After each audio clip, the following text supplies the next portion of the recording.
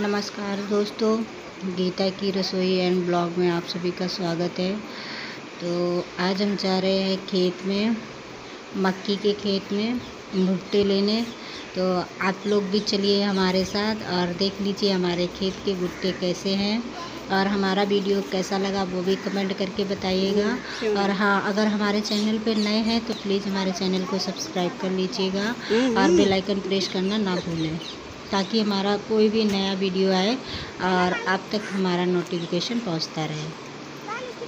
तो आप लोग इधर देख सकते हो, हम पहुँच चुके हैं लगभग खेत में और थोड़ा सा और रह गया है।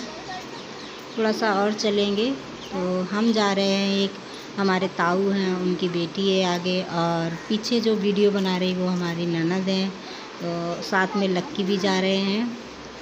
तो इनको तो खेत में बहुत अच्छा लगता है, बहुत ज़्यादा पसंद है खेत में जाना। तो हमारा ये वीडियो आप लोगों को कैसा लगा, प्लीज़ कमेंट बॉक्स में कमेंट करके बताइएगा। और हमारे वीडियो को ज़्यादा से ज़्यादा शेयर कर दीजिएगा, ताकि हमारा थोड़ा सा आपकी मदद से हमारा जो मन है ना, थोड़ा बढ़ जाएगा और वीडियो अच्छे अच्छे से लाने की कोशिश करेंगे। तो इधर हम टन ले लिए थे मक्की के खेत में। तो आप लोग देख लीजिए चारों तरफ़ भुट्टे भुट्टे ही लगे हैं। चारों तरफ़ भुट्टे ही लगे हैं। तो दिखा बस मैंने उधर आगे लक्की को कर दिया था और इधर मैं खड़े होके कुछ बोलने लग गई थी। अपनी ननद से मैंने कुछ बोला था खड़े होके और फ़ोन मांगने लग गई थी। तो इधर मैं थोड़ा सा आगे से क्लिप शूट किए थे। मैं वहाँ पे रुक गई थी तो आगे से लक्की ने ले लिया था फ़ोन को। तो इधर हम जस्ट एकदम खेत में पहुँच चुके हैं। इसी खेत से हमें भुट्टे तोड़ने हैं। तो हम आप लोगों को तोड़ के भी दिखाएँगे। और ये यहाँ कटहल का पेड़ है।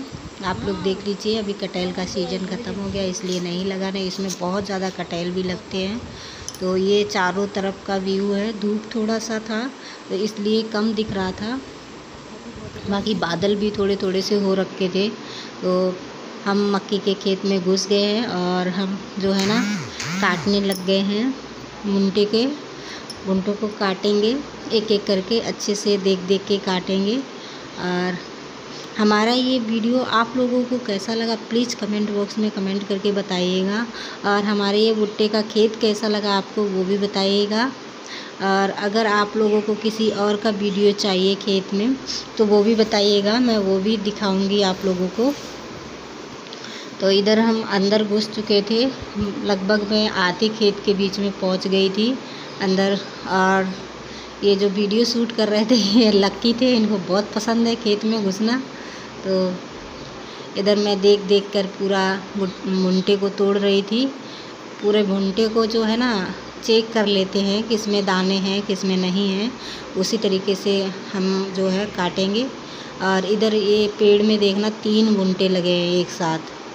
किसी किसी में दो लगे होते हैं, इसमें तीन लगे हैं और तीन में एक तैयार हो गया था, दो अभी तैयार नहीं हुए थे और इधर हमने जो घुंटा है ना, आपको छील के दिखाया था पूरा अच्छे से, इसको भी मैं जर से एकदम काट लेती हूँ।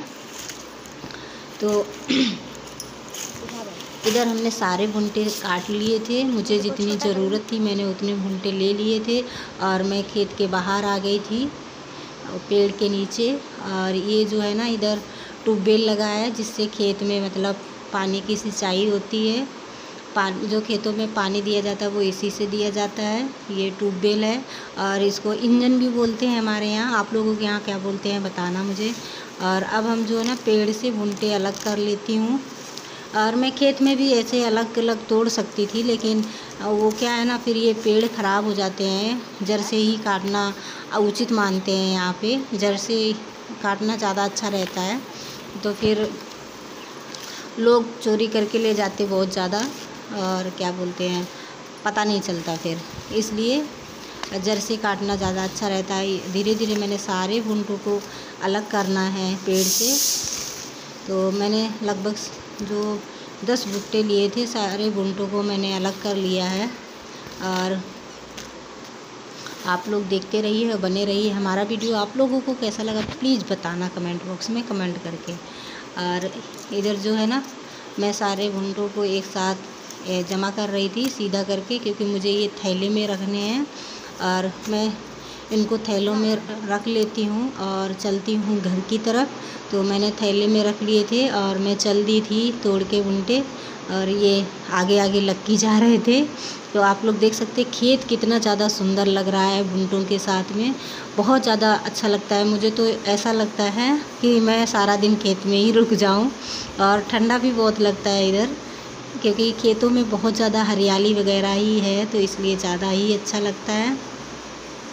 तो आप लोग इधर का मौसम भी देख लीजिए। ये उधर जो है तोरई का खेत है और इधर ये सनई के पेड़ हैं, सनई जिसको बोलते हैं, वो हैं। और ये लक्की की बुआ और मैं, वो वज़न ज़्यादा था तो थैला लेके चल दिए थे साथ में। अब हम चल दिए हैं घर की तरफ़। और लगभग घर के पास में ही खेत है, थोड़ा सा दूरी पे है। हमारे घर से सामने दिखता है तो अब हम घर के तरफ़ जा रहे हैं। एक एक तरफ़ थैले को पकड़ लिया, वो थक गई थी, क्योंकि उसमें बीस घुंटे थे, दस मेरे थे, और दस वो जो ताऊ की लड़की जा रही, उसने भी लिए थे। तो ताऊ की लड़की के दस थे और दस हम लोगों के थे। जितनी हमको ज़रूरत थी हमने उतने ही तोड़ लिए थे। बाकी ये घर के सामने जो जस्ट खेत है उसको भी मैंने थोड़ा सा दिखाया है आप लोगों को। तो अब हम घर पहुँच चुके हैं।